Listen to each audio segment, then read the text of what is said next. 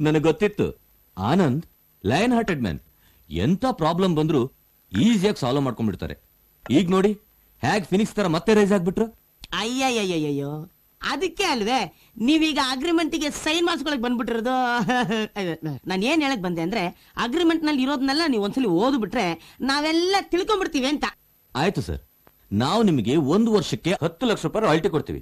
ಅದು ನೀವು ಹಾಡೋ ಹಾಡ್ಗೆ ನಾವು ಕೊಡ್ತಿರೋ ಪೇಮೆಂಟ್ ಅಲ್ಲ ಸರ್ ಎಕ್ಸ್ಟ್ರಾ ಮನಿ ಈ ರೀತಿ ನಾವು ಒಂದ್ ಐದು ವರ್ಷ ಅಗ್ರಿಮೆಂಟ್ ಮಾಡ್ಕೊಂಡ್ ಬಿಡೋಣ. ನಮ್ ಕಂಡೀಷನ್ ಏನಪ್ಪಾ ಅಂದ್ರೆ ನೀವು ನಮ್ ಕಂಪ್ನಿ ಮಾತ್ರ ಹಾಡ್ಬೇಕಷ್ಟೇ.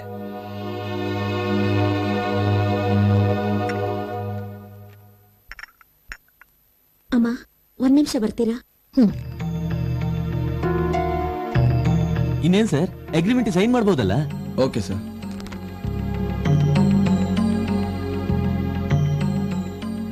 ಮಗ ಒಂದ್ ನಿಮಿಷ ತಡಿಯಪ್ಪ. ಇವತ್ತು ದಿನ ಚೆನ್ನಾಗಿಲ್ವಂತೆ ಒಂದ್ ಒಳ್ಳೆ ದಿನ ನೋಡಿ ಒಪ್ಪಂದ ಮಾಡ್ಕೊಂಡ್ರೆ ಆಯ್ತು. ಆಯ್ತವ ತಗೊಳ್ಳಿ ಸರ್. ಆಯ್ತಮ್ಮ ತಾವ್ ಹೇಗ್ ಹೇಳ್ತಿರೋ ಹಾಗೆ ಆಗ್ಲಿ. ಆಯ್ತು. ಸರ್ ಆದ್ರೆ ನೀವು ಮಾತ್ರ ನಮ್ ಕಂಪ್ನಿಗೆ ಅಗ್ರಿಮೆಂಟ್ ಮಾಡ್ಕೋಬೇಕು. Okay sir. ದುಡ್ಡಿನ ಪ್ರಾಬ್ಲಮ್ ಇದ್ರೆ ನೆಗೋಷಿಯೇಟ್ ಮಾಡೋಣ. ಶೋ ನಾನೇನ್ ಬರ್ತೀನಿ. ನಿಮ್ Thank ಜೊತೆ you. ಟಚ್ ಅಲ್ಲಿ ಇರ್ತೀನಿ ಸರ್ ಓಕೆ? ಬರ್ತೀವಿ ಸರ್. ಥ್ಯಾಂಕ್ ಯು ಸರ್ ಬರ್ತೀನಮ್ಮ? ಬರ್ತೀವಮ್ಮ? ಅವ? ಯಾಕವ್ವ ಈ ತರ ಮಾಡ್ದೆ? ನಾನು ಹೀಗ್ ಮಾಡೋಕ್ ಹೇಳ್ದೆ. ನೀನಾ? ಯಾಕೆ? ಕೇವಲ ಹತ್ತು ಲಕ್ಷ ರೂಪಾಯಿಗೋಸ್ಕರ ಆನಂದ್ ತಮ್ಮನ್ ತಾವು ಬೇರೆಯವ್ರಿಗೆ ಮಾರ್ಕೊಳ್ಳೋದು ಒಳ್ಳೇದಲ್ಲ ಅನ್ನಿಸ್ತು. ಅದಕ್ಕೆ ಅಂದ್ರೆ? ಈ ಅಗ್ರಿಮೆಂಟ್ನಿಂದ ಆನಂದ್ ಆ ಕಂಪನಿ ಕಂಟ್ರೋಲ್ನಲ್ಲಿ ಇರ್ತಾರೆ ಹೊರತು ಆ ಕಂಪನಿ ಇವ್ರ ಕಂಟ್ರೋಲ್ನಲ್ಲಿ ಇರಲ್ಲ ಇದ್ರಲ್ಲಿ ಆನಂದ್ ಬೇರೆ ಕಂಪನಿಗೆ ಹಾಡಬಾರ್ದು ಅಂತ ಕಂಡೀಷನ್ ಇದೆಯೇ ಹೊರತು ಆ ಕಂಪನಿ ಬೇರೆಯವ್ರಿಗೆ ಹಾಡಿಸಬಾರ್ದು ಅಂತ ಕಂಡೀಷನ್ ಇಲ್ವಲ್ಲ? ಇವತ್ತು ಆನಂದ್ ಅವ್ರಿಗಿರೋ ಪಾಪ್ಯುಲಾರಿಟಿಗೆ ಆ ಕಂಪನಿಯವರು ವರ್ಷಕ್ಕೆ ಮಿನಿಮಮ್ ಅಂದ್ರೂ ಹತ್ತು ಆಲ್ಬಮ್ ಪ್ರೊಡ್ಯೂಸ್ ಮಾಡ್ತಾರೆ. ಅದರಿಂದ ಕೋಟ್ಯಾಂತರ ರೂಪಾಯಿ ಲಾಭ ಮಾಡ್ತಾರೆ.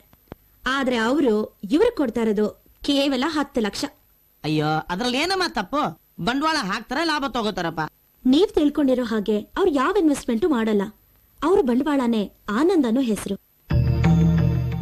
ಇದ್ರ ಜೊತೆಗೆ ಬೇರೆಯವ್ರಿಗೆ ಹಾಡಬಾರ್ದು ಅಂತ ಆನಂದ್ ಹತ್ರ ಅಗ್ರಿಮೆಂಟ್ ಮಾಡ್ಕೊಳ್ಳೋದ್ರಿಂದ ಇವ್ರ ಗುಡ್ ವಿಲ್ನ ಪೂರ್ತಿ ಅವರೇ ಯೂಸ್ ಮಾಡ್ಕೋತಾರೆ. ಈ ರೀತಿ ಬೇರೆಯವರು ನಿಮ್ಮಿಂದ ಅನುಕೂಲ ಮಾಡ್ಕೊಂಡು ಲಾಭ ಮಾಡ್ತಿರ್ಬೇಕಾದ್ರೆ ನಾವೇ ಯಾಕೆ ಒಂದು ಕ್ಯಾಸೆಟ್ ಕಂಪನಿ ಓಪನ್ ಮಾಡಬಾರದು?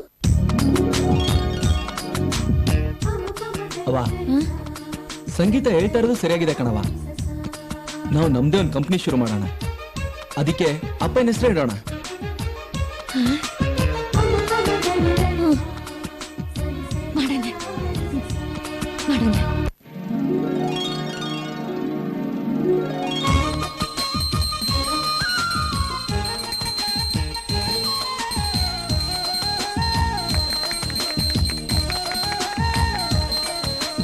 ಅದಕ್ಕೆ ಯಾಕ್ರಿ ಅಷ್ಟೊಂದು ಟೆನ್ಷನ್ ಮಾಡ್ಕೋತೀರಾ?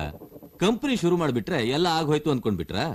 ಕ್ಯಾಸೆಟ್ ಕಂಪನಿ ಡಿಸ್ಟ್ರಿಬ್ಯೂಷನ್ ಅಂದ್ರೆ ಮೈಕ್ ಹಿಡ್ಕೊಂಡು ಹಾಡು ಹೇಳ್ದಾಗೆ ಅನ್ಕೊಂಡ್ಬಿಟ್ಟಿದ್ದಾನೆ. ಸರ್ ಮ್ಯೂಸಿಕ್ ಡೈರೆಕ್ಟರ್ ಆಗಿ ರಾಜೇಶ್ ರಾಮನಾಥ್ ಅವ್ರನ್ನ ಬುಕ್ ಮಾಡಿದ್ದಾರೆ. ಜೊತೆಗೆ ಸಿಂಗರ್ ಆಗಿ ಶ್ರುತಿ ಅವರನ್ನು ಬೇರೆ ಬುಕ್ ಮಾಡಿದಾರಂತೆ ಸರ್ ಮಾಡ್ಲಿ. ನೀವೀಗ ಅರ್ಜೆಂಟ್ ಆಗಿ ಒಂದು ಕೆಲಸ ಮಾಡಿ. ಶ್ರುತಿ ಮನೆಗೆ ಹೋಗಿ ಅವಳು ಎಷ್ಟು ದುಡ್ಡು ಕೇಳಿದ್ರು ಕೊಟ್ಟು ಅವಳನ್ನ ನಮ್ಮ ಕಂಪ್ನಿ ಜೊತೆ ಟೈ ಅಪ್ ಮಾಡಿ ಅಗ್ರಿಮೆಂಟ್ ಮಾಡಿಸಿ. ಅವನ್ ಇದ್ರಲ್ಲಿ ಹೇಗ್ ಗೆಲ್ತಾನೋ ನಾನು ನೋಡ್ತೀನಿ. ಅಯ್ಯಯ್ಯೋ. ಗುರು, ಏನು?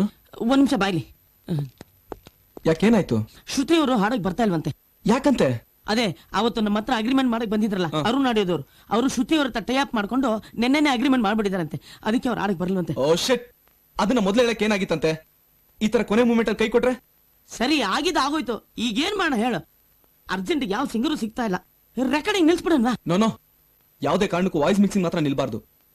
ನಾವು ಸೋತಾಗೆ.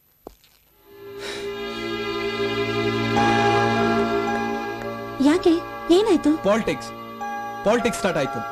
ಶ್ರುತಿ ನಮ್ಗೆ ಆಡ್ಬಾರ್ದು. ನಾವ್ ಇದ್ರಲ್ಲಿ ಗೆಲ್ಬಾರ್ದು ಅಂತ ನನ್ನ ಹತ್ರ ಟೈ ಅಪ್ ಮಾಡಕ್ ಬಂದಿರಲ್ಲ. ಆ ಅರುಣ್ ಆಡಿಯೋಸ್ ಅವರು. ಈಗ ಅವಳನ್ನ ಬ್ಲಾಕ್ ಮಾಡಿದ್ದಾರೆ ಎಸ್ಟಾಬ್ಲಿಷ್ ಸಿಂಗರ್ ಆದ್ರೂ ತಾನೇ ಈ ರಾಜಕೀಯ? ಯಾವ್ದಾದ್ರೂ ಹೊಸ ವಾಯ್ಸ್ ಹಾಕೋಣ. ನಿಮ್ ಕಂಪ್ನಿಯಿಂದ ಹೊಸ ಸಿಂಗರ್ ಪರಿಚಯ ಮಾಡಿಸ್ದಾಗುತ್ತೆ ಅದೇನು ಸರಿ ಸರ್. ಆದ್ರೆ ಈಗ ತಕ್ಷಣಕ್ಕೆ ಹೊಸ ವಾಯ್ಸ್ ಎಲ್ಲಿಂದ ತರೋದು? ನಮ್ ಸಂಗೀತನ ಹಾಡ್ ಹೇಳಿದ್ರೆ ಅಯ್ಯೋ ಅಯ್ಯಯ್ಯೋ ನಾನಾ? ನಾನ್ ಹಾಡೋದು ಅಂದ್ರೆ ಯಾಕಾಗ್ಬಾರ್ದವಾ?